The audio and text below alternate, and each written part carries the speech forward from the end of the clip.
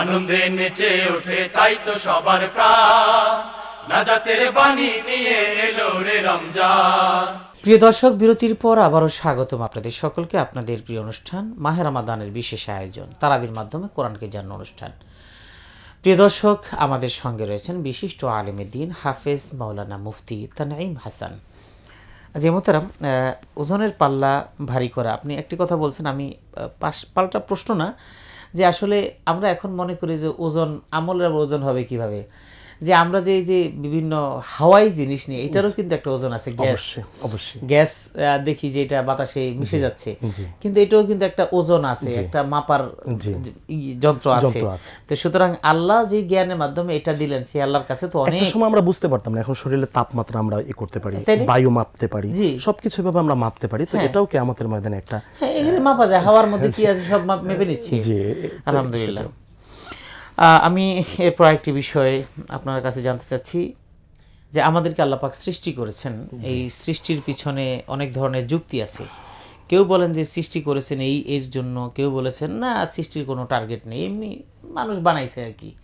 তো আসলে এটার মূল কারণ কি বা অহেতুক সৃষ্টি করেছেন নাকি আমাদেরকে? আয়াতে করিম আল্লাহ সুবহানাহু ওয়া তাআলা আজকে তেলাওতের ভিতরে হাফেজ সাহেবরা তেলাওয়াত করবেন। আফা হাসিবতুম আন্নামা খলাকনাকুম আবাসা? ওয়া আন্নাকুম ইলাইনা লা তুরজাউন। এই প্রশ্নটা আল্লাহ সুবহানাহু ওয়া তাআলা আমাদেরকে করেছেন। তোমরা কি এটা ধারণা করো? যে আন্নামা খলাকনাকুম আবাসান আমি অনার্থক অহেতুক তোমাদেরকে সৃষ্টি করেছি। দ্বিতীয় আরেকটি কথা আল্লাহ তালা বলেছেন ও আন্নাকুম ইলাইনা লাতুর জাউন তোমরা কি এই ধারণা করে বসে আছো যে তোমরা আমার কাছে ফিরে আসবে না? তো এই সংক্ষিপ্ত একটি আয়াতের ভিতরে একজন মোমেনের মূল জীবনের একটা গুরুত্বপূর্ণ তথ্য আল্লাহ দিয়েছে তো আল্লাহর প্রশ্নের অর্থ কোরআনের অন্য আয়াতে যদি আমরা দেখি, একাধিক আয়ত আল্লাহ তালা বিষয়টিও বলেছেন যে আল্লাহ তালা কোনো জিনিসকে রব্বানা মা খলাক তাহাদা বাতিলা, কোনো কিছু আল্লাহ তালা অনার্থক সৃষ্টি করেন নাই। তো অবশ্যই আমাদের সৃষ্টি আল্লাহ তালা বিশেষ এক উদ্দেশ্য করেছেন। এই উদ্দেশ্যটাও আল্লাহ তালা কোরআনে বর্ণনা করেছেন, আমরা জানি। অমা খলাক্তুল জিন্নাওয়াল ইনসা ইল্লা লিয়াবুদুন। এটাই মূল উদ্দেশ্য যে আমাদের আল্লাহ তালার নির্দেশনা মোতাবেক তার বাতানো যে জীবন ব্যবস্থা আছে এই পথে আমাদেরকে চলতে হবে। এটা একটা মূল উদ্দেশ্য। এবং আমাদের মূল টার্গেট এটা যে খাও দাও ফুর্তি করো দুনিয়াটা মস্ত বড় বর্তমানে অনেকেই বলে যে আমাদের কোনো হিসাব নিকাশ নেই আমাদের পরপারের কোনো ব্যবস্থা নেই। এরকম হলে তো ঠিক ছিল কিন্তু এমনটা নয়। তো আল্লাহ তালা বলেছেন, তোমাদেরকে আমার কাছে ফিরে আসতে হবে। ফিরে আসার অর্থ হলো এখানে তোমাকে তোমার পুরা জীবনের হিসাব দিতে হবে। তোমার হায়াতের হিসাব, তোমার অর্থের হিসাব। এই জাতীয় হিসাবগুলো দিয়ে তোমাকে পার এখান থেকে হতে হবে। তো এজন্য আমার জীবনটাকে সুন্দরভাবে সাজাতে গিয়ে আমার সামনে এই এই চেতনাটা অবশ্যই থাকবে যে আমার আল্লাহর কাছে আমাকে ফিরে যেতে হবে। ফামান কানা ইয়ারজু লিকা রাব্বিহি ফালইয়ামাল আমালান সালিহা।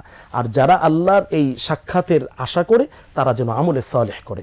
তাহলে এই আয়াতগুলোকে সামনে রেখে আমরা যে ফলাফলের সমাধানে আসতে পারি, আমাদেরকে আল্লাহ তালা বিশেষ এক উদ্দেশ্যে সৃষ্টি করেছেন, সেটা হলো আমলে সালেহ এবাদাতের জন্য আমরা এবাদাতের প্রতি আসব এবং আখেরাতকে বিশ্বাস করে আখেরাতের সেই সুন্দর জীবন যাতে আমরা গঠন করতে পারি সেই চেষ্টা করব।